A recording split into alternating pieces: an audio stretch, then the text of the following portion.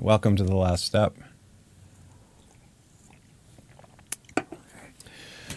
Yeah. So Frank is off in Mallorca finding our new house with David and Lisa. So he won't be joining us today, but I will be having a guest from South Africa, which is Catherine, who, if you've watched our online retreats and so forth, you may have heard her speak. And uh, she'll be joining us. I did want to share a few miracles that, uh, that have been happening to me, and most of all this morning. But first, I'd like to start with uh, Friday night. We went to, or Friday afternoon, we went and saw the movie Aquaman, which you know came with rave reviews, and we were all excited to see it. And yeah, the metaphors and everything behind it did not let down. There was there was a few scenes in there that really that really touched me deeply, and I may speak about those uh, in a bit. But we were driving back from the uh, from the movie, and I had mentioned that it was five years. You know, you know this this show is about from 12 step recovery to a life of full devotion. And you know I don't identify with a group anymore a certain 12 step group. And I don't really go to meetings very very infrequently when I can get a chance. But I had said something in the car that it was 5 years and one of the girls in the car was like oh I have a coin at the house. And I was like you have a coin at the house I haven't gotten a coin you know since 2 years or whatever so I didn't really think much of it at the time. And then in the morning, so the 21st was the last day I used a substance, and the 22nd would actually be the day that people in 12 steps would consider it your day of sobriety. And I walked into the kitchen, and yeah, right by the sink was was a five year coin. And like as soon as I saw it, it was just this like I was overwhelmed, you know. It was, you know, and the mind's like, what are the odds that she had a roommate, you know, and thank you, Tamra, if you're watching. I think this may have been your coin at one point. And it was so beautiful because I just sent an old coin that Nicholas was wearing a pair of my pants and he found a coin in the pocket and I said, Ooh, Peter, you're going back to Mexico. Give this to someone in two months because it's their day. And there's just something amazing about it. Like, you know, this confirmation of there's no coincidences or you know, that I'm being taken care of and all of it, you know, when I saw this coin and the coin's got like flames on it. It's like got fire and I attributed to that like it's time to yeah, kindle that that fire from the spirit within me that that was lit 5 years ago and with each one of these shows with each with each obstacle I look at or brother I go towards, that fire gets greater and greater and you know, there's there's something around it. There's a fear. There's a fear, and this is what I saw in that movie in Aquaman. This fear of magnitude, and so this morning I, I woke up and my uh, those of you who watch my morning show, I wake up quite early and I went into the sanctuary and I was doing my thing and fighting in spirit and scanning my mind for disturbances and there was one there that was subtle from the night before and when I looked at it, it was it was much deeper than I anticipated, and it got me in touch with these beliefs that I've faced before, and where my worthiness is, and what people want from me, and this, and I went through it. You know, our levels of mind, the perception with what I'm perceiving in another, and what I actually feel. What am I fearing? And I shared my fears, and when I shared the fear, and I got to the belief, and I shared the belief that you know, I actually have it written here, and you know, I perceive I am afraid of, and it was that I'm not, you know, the belief was that I'm not doing enough, and it was so deep when I when I wrote it, and as soon as I wrote it, my phone went off. It was 5:31 in the morning, and my phone went off as right as I I was like, help me to be willing to let go of this belief, and I wrote that I'm not doing enough, and something that tries to get served back up to me over and over. And I got a message from someone who's never messaged me before at 5:31 in the morning. And I asked him if I could read this to you, and I'm going to try to get through it. so I read the first line and I, I just literally burst into tears because it was it was an answer to my prayer. Like I'm looking over here at certain things and the story I tell myself, and then it was like a redirect of spirit. It was like, no, hello, we've been watching this thing, uh, God Befriended Me, and it's like this. It's a really corny show, and I love it. It's like terrible acting, corny show, but the deeper you go into the mind, the more you appreciate those type of shows. And it was like that experience. It was like spirit showing up on my phone, and it says, "Dear Jeff, I just wanted to share with you how you helped me help a brother." I have a good friend who drinks on and off, and when he does, we stayed out of contact for months. When he is sober, he is ready to be friends again. In his periods of sobriety, he will be preaching about how raw food and exercise is his way out and how proud he is that he works out every day. I will typically get more and more impatient. I try to be polite, hiding my anger, and leave him feeling lonely. But as, I, as I've been reading the Course and so on, I've been able to let go of having to change him. Yesterday, I could allow him to do his thing, and though he sounded like he was further away from the truth than ever before, it was okay. There was a great space in the room and a connection between us.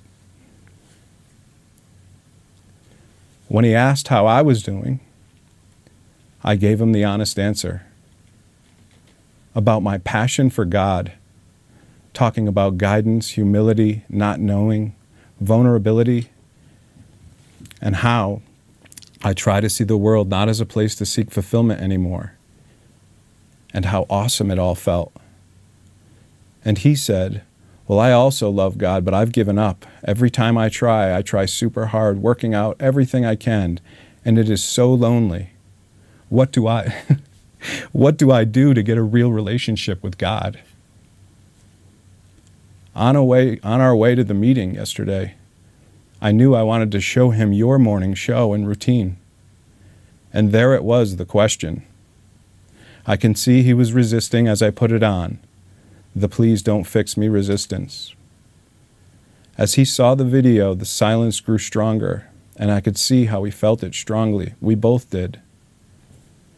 Afterwards, he shared his mind blownness that he had felt lost and without hope for a long time. But now he felt like there was a method, something tangible to do, and it resonated with him. I think this is a major change in his perception from hopelessness to hope. A realization that we can do this together, but that it takes consistent practice a motivation to redirect his discipline into something meaningful. Could be a life changing moment, maybe the biggest change I've ever witnessed in another. It's very useful material you put out, and I wanted to say a big thank you. and I mean, I literally, I bawled when I read this because, you know, here it is, this constant belief that I'm not doing enough or whatever, and Spirit's like, no, here's a witness. Like, here's a witness to show you that you're actually, you're following the guidance you're doing, you're taking the steps. And yeah, it was a huge moment for me because when I'm caught in that, I was sharing with someone else briefly that when I can get in touch with that emotion, like I could cry from the victim place all I want. But when that deep emotion comes up of a worthiness that I'm actually, my greatest fear is that I am worthy, when I can get in touch with that, it is beyond anything, you know, and I need these miracles to happen, you know, over and over. And I was talking with um, Catherine earlier, and she's facing certain things that, you know, she's maybe selling her house and leaving a job. And I had the same exact experience when I left my job. And my father was my, my father was my boss, so it was this huge fear in my mind to walk away from all that or seemingly walk away from it to follow a calling. And I walked out of the office the last day that I was really ever going to go in there and told him, listen, I, I'm done. I talked to my business partner. I walked out and the same thing. My phone buzzed and I looked at it. And it was a friend who I hadn't spoken to in four years. And he was saying, I just did an interview with Forbes magazine and they asked me, Do you know anyone that's missed their calling in life? And you were the top one on my list.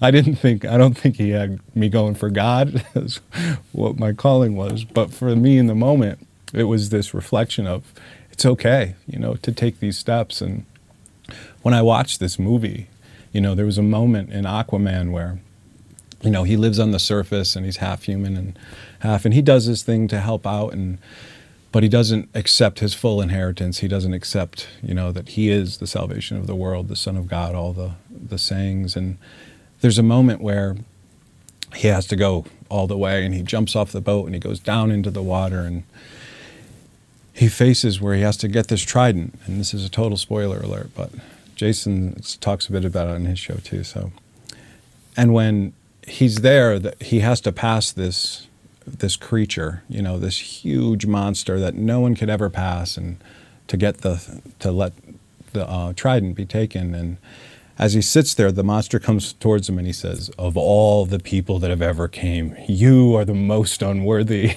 it's like, you know, but this is that voice. You know, he's facing that voice in his mind. And what was cool about this is, in that moment, he turned to you know, he, he got down and he looked at himself really, and he turned and his Aquaman thing is he could hold up his hand and he can communicate with the sea creatures. And it was really an understanding of himself when he got in touch with, well, I'm this, I'm a half breed. I'm, he like laid himself on that line, like, this is what I am. And when he said that, the creature was like, oh, you understand me.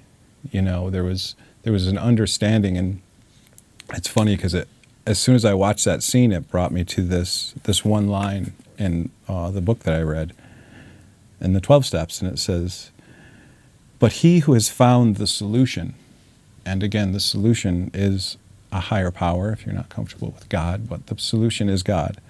He who has found the solution, who is properly armed with the facts about himself, you know, looking at these deeper patterns in himself, can generally win the entire confidence of another." In a few hours, until such an understanding is reached, little or nothing can be accomplished. And it's like that's what I see this interaction with Jonas and his friend. It's like if we can take the moment to literally pause of that moment of non judgment. You know, this is even in the 12 steps. There's pages 90 through 93 or 91, how to approach someone. We're sharing what we understand from ourselves. Like when we get in touch with that, then we can share from that place. And it was yeah, it was quite quite an amazing moment in the movie for me to see that that bit and I guess the other thing I wanted to share was this path, like, you know, what me and Catherine have been talking about is, you know, these these steps or letting go of what we think it is we want or we find attractive in the world. And it was in the littleness, littleness versus magnitude ses- session section from the course, and says, "When you strive for anything in this world, in the belief that it will bring you peace, you are belittling yourself and blinding yourself to glory. You are as free to try as many as you wish, these forms of littleness, but all you will be doing is delaying your homecoming." For you will be content only in magnitude, which is your way home, which is your home. And it's like I had a little taste of that this morning, you know, this the magnitude, the worthiness and I guess I just wanted to share that with yeah, everyone watching and certainly with Catherine. And yeah, we can hear from her now. I can use a break, but she's been facing some things in David visit, and I'll let her speak. Cool. Yeah, so I guess I'll just create a bit of a context, really. Um, this whole uh, property with Mallorca kind of, you know, David was obviously discussing it when he was here because he was from Portugal. Portugal. And um, yeah, we would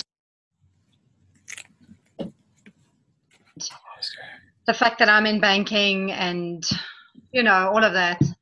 And I just kind of felt like those are skills that could never ever be used mm. because when I signed up for the retreat, for the um, not the retreat, the devotional stay, it said like you know what are what are kind of things that you do? Can you do audio visual? Can you sing? Can you play an instrument?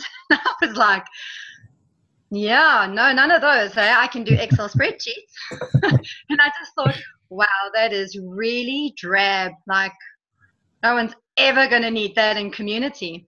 And he was just saying, we would need something like that because managing this place sounds like it's going to be quite a quite a thing not as not as kind of straightforward and obviously with the euro things are a lot more expensive and and anyway so what you were just talking about now with this whole like searching for things in the world to try and bring you happiness i realized that quite a quite a while ago that it's all pretty futile i feel like i've had this this incredible life of like adventure there uh, I was going to say there's not a lot that I haven't done. There is a lot that I haven't done, but there's a hell of a lot that I have done. And it's never resulted in any lasting happiness. And I really just kind of figured this out. Even before the course, I was like, my life has gradually, over the years, just become more and more simplified because I've lost interest in really doing anything, you know, like exercise or why didn't you do a triathlon? I'm like, oh God, I could think of nothing worse, you know, whereas here it's all the rage and so yeah, David and I were discussing this whole concept, and and for me, the biggest fear is more that it's not going to happen. You know, I kind of feel like I'm living my life in this this groundhog week. You know, mm. every week is the same. It's all routine. There is very limited joy. Very. I always say I watch everyone on these shows and everyone's so happy and grateful, and I'm like, no, not feeling it. you know, it's just like, yeah, my life is is pretty. I want to say meaningless. You know. Mm. And um, like the the real joy that I have is when I walk my dogs in the park and I just see how ecstatically happy they are, and I'm in this beautiful place with these trees and wide open spaces, and that's my joy, which is probably about 45 minutes, four to five times a week and I'm like, damn, man, that's just really, that's just really pretty crappy. So yeah, my my biggest thing is hoping that this is really going to materialize, you know. And I, and I said to David, my my biggest fear is that he's going to be like, listen, we've been doing a lot of thinking, and it's not you. you know, no, you need to stay in South Africa and figure something else out you know so that's kind of where the the anxiety has come around speaking to my mom. We we touched on that briefly. Mm. um i kind of wanted to be um 100% confirmed before i do anything before i make any plans you know?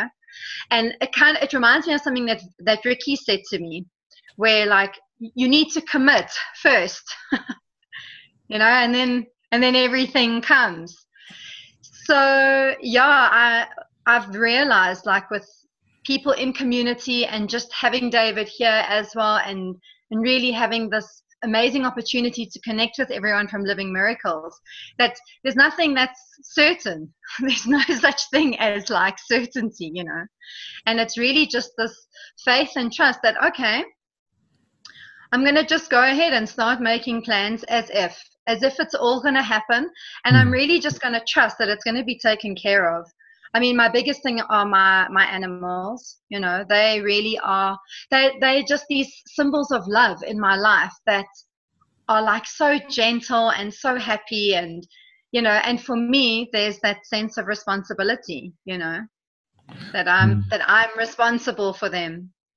Mm. Um, which of course is something that has to be undone um, yeah, and then like selling my house, and it's so interesting because I took a look around and I just thought, what here would I actually like to take with me?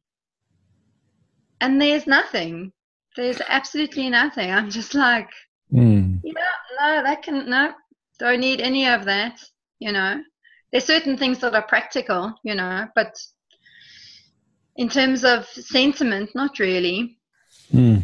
You know, so that's beautiful, and yeah. it's it's just like even in in twelve steps, you know, and we've talked about that before when you originally wrote me, and it's the same thing with community that I've talked about on my shows before. It's like someone has taken the steps, and even as you talk, it's like I've left the job. I have, you know, with my parents, I didn't have a spouse or you know, a girlfriend at the time or children. I didn't have those things. I had a job, I had the house. And then when you talk about dogs, Susanna, as you know, my wife Susanna, she would love to speak with you about that. She went through a lot of healing around these symbols of, you know, and again, it's these symbols of love that that show up. And again, even when you started talking, it's like I don't think anyone, even me, okay, people here think I can do everything. When I first filled out my application, like the, for the first devotional, I'm like, oh, I don't, I have nothing to offer these people. like, I was convinced, you know what I mean? It was like, I could do this, a little bit of this and this, but I can, you know, try to do this. And literally, I can do pretty much anything with, you know, Him who strengthens me. It's like, and with the people around, it's like there's nothing. So it's, those are all the things that are presented in the mind. Like, and it's not going to be me. They're going to say no, and all these things. It's like, yeah. Yeah for me, the most um, like fascinating thing is really just looking back, you know, and kind of seeing how everything works together for good. And there are no exceptions except in the ego's judgment, mm. you know, and and this whole kind of career path. Like I was I was I was in sales for my entire life, which which is actually very useful because you get to learn all elements of the company. You, you interact with every single department within the company because the company's there to serve the customer to make a profit, but it, it is about the customer ultimately, mm. you know. And um, yeah, I was so over what I was doing. And it was actually just before I came to the devotional stay that I had this discussion with my boss and I said, listen, I'm really, I'm really over this. And um, she said, okay, well, we'll try and find you something within the company. And I was like, okay, fine. I didn't really hold out much hope. And that, that was in the January. And I then, I applied for different positions and in, in, um, the, the industry that I'm in, there were always certain roles that I thought, oh, that's perfect for me. And I thought, okay, that could always be a fallback. of course, when I was looking, there was like one position available paying really badly, like in some remote place. I was like, damn, okay. And I just said, okay, fine, fine. I have no idea where I'm supposed to be, what I'm supposed to be doing, and I'm really just going to let go. And it was agreed that I would stay until the 31st of May, because obviously I can't just stay at the company indefinitely, you know, not wanting to to really be in the position that I'm in. And yeah, like two weeks before, I mean, I thought I'm going to resign. I was, I was actually quite excited to get out of corporate. And and this position came up within the pricing department, and like the whole of Exco was like, "We really want you to do this." I was like, "Really? Okay, well, this is this is what's given, you know." And there's been so much learning and um, like forgiveness work for me in terms of managing people and like running the department and getting things organized and and set up. You know and all of this it just feels like it's been this um, preparation you know? Mm. this really gentle preparation. Um, yeah and i just i look and i see how the learning that i've done you know in supply chain and finance has just yeah it's like there may actually be a use, you know. And what David said is when, when everything is given over to spirit, then he can use that. Because mm. right now what I'm doing is just it's it's just one enormous distraction. Yeah. It is just a distraction. All these all these things that can be used and it's funny because I'm sitting here in front of a sound booth that I was my company before that I was in for years. I was in real estate management, development, all these things. Now, those things are being even used. We're developing, we're building a studio that I'm over with the help of Nicholas and so forth. And it's like all these things will be used. I have literally something that was built in my shop back east. I had it shipped out here so that we can do audio recordings from our studio here. And it's like so there is there's so many of these things that are that are used and it's like that's it. It's the willingness to hand it over, to hand it over to spirit. Yeah. It's like, yeah, yeah, so it is exciting with Majorca coming in and yeah. Very. Yeah, when when he spoke about it, I just when when was it actually? Um I think it was just before he came to South Africa at that the, the October retreat where there was kind of talk about it and and I just thought oh, I had this like spark, you know. I thought, oh my god, yes, and and it's it's fascinating because like Europe has never been like a, a spark for me as such, you know. But when I when I heard about it, I thought I could definitely, I can definitely see myself there. You know, I just felt it, yeah. and yeah, I when I when I see Lisa's pictures that she posts and the videos, I'm just like, are you kidding? Because the the other big thing that I've realized is that regardless, I don't enjoy living in a city. Yeah. Like I really, really don't. Some people love it, and I'm just like, I really don't see any value here whatsoever. I love being in the wide open spaces, which is why I love walking my dogs. You know, it's just it's such a release for me. You'll be uh, you'll be out in the middle of the ocean. It'll yeah. be in Mallorca, and it's funny. I I had this line come to me this morning, which is is from a, a famous writer, but I was just thinking as you were speaking that. Um, that Mallorca will be your Atlantis if you haven't seen Aquaman yet. But I heard this line this morning because when I was reading these lines from from the course, and you know, about this littleness versus magnitude, and we'll try all these forms of littleness. A different position at work. Oh, it'll be better if I just do this, and that will satisfy me for a while, or you know, whatever it is. It's like it's this continual thing until we actually do take that leap, until we step back, and it's this one. Uh, this one line from C.S. Lewis, and I, and I heard it in my mind, and I looked it up, and then there's actually a line about the ocean in here. Or something said. It would seem that our Lord finds our desires not too strong but too weak.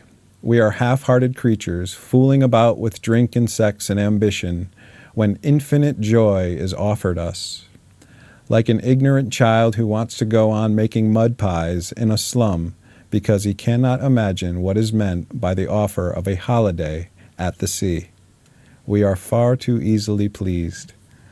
So it was like, I thought of that today. Like, we can so maybe that's my prayer as well to even let go. I've been, yeah, going deeper into these things of letting go of possibly the East Coast. My residency is probably going to become Utah. I never thought I'd be an inlander because I was I was like Aquaman. I like like to be by the ocean and everything. But now we have Mallorca coming in. It's like all these things are literally provided for us and yeah, we're running out of time here, but I just wanted to, uh, yeah, say thank you. It's great to have.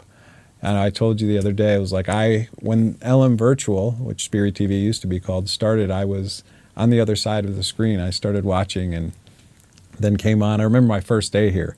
I walked in and sat down and Sarah and someone else was doing a show. They're like, oh, come on on. And they like put me right on the show first thing. Never did I realize it'd be on here much more often, but like I've shared this morning, it's a gift, you know, once even stepping through any of the fears around it and seeing I can use this for extension. And it's never what I think is like, uh, is really an answer to my prayer today. So I want to let go of any of those other things in my mind that try to easily please me and yeah, be open. We have Jason's show coming on uh, on next, and yeah, I know that we'll be seeing a lot more of you, Catherine. So yeah. yeah you can head to your Atlantis. So thank you so much. I love that. yeah. yeah.